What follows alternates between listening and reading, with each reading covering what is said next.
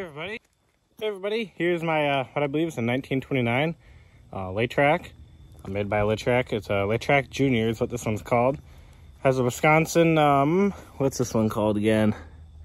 This one's a ACN model.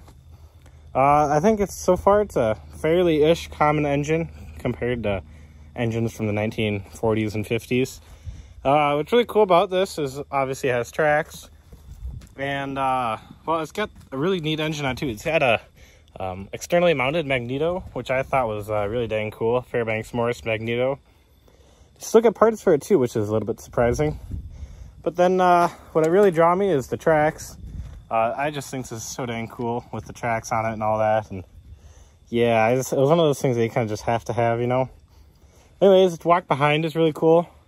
We pull this lever, picks up the engine, and then this red pulley is supposed to have friction material on it, which comes in contact with that friction material or with that uh, steel pulley. And when you pick up on these, see how the motor moves down. Uh, when the motor moves down and then it comes in contact, that's your reverse. And then obviously that's your forward. But uh, I think what happened is someone couldn't find a small enough belt and they uh, had to put spacers on it and then get rid of the guard that's supposed to be here and uh, that stuff probably just was never working. So yeah, that's uh, pretty neat. And then here's your uh, lift for your cultivators or your or your plow or your disc. And then um, it has a PTO shaft out the back, which I have no clue what's that's for, what that is for, but I have one. Uh, pretty neat as oil bath air cleaner and uh, front hitch. Pretty neat stuff going on. And then someone had some welds on here. I don't know what that's for. But uh, yeah, so one day maybe I'll uh, ever get around to restoring it or I might paint it cat yellow like the guy I bought it from wanted to do. But uh, yeah, just decided to make a qu quick short video on this thing. It's uh, pretty neat. I'll start up for you guys here in a second and uh, will give her a whirl.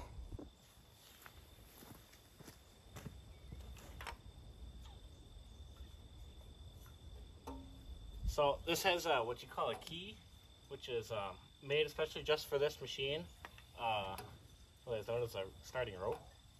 If you lose this, this will not work on another machine. Anyways, uh, I usually give a half choke, and it should start first pull, I hope.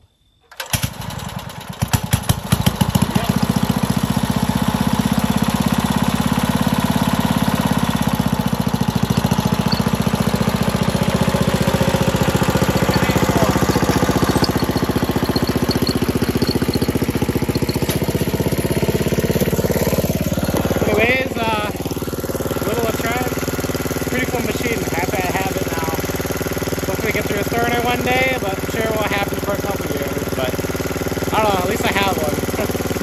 Anyways, I'll uh, see you in the next video. Cleaning out the barn over there, so thought I'd take it for a whirl.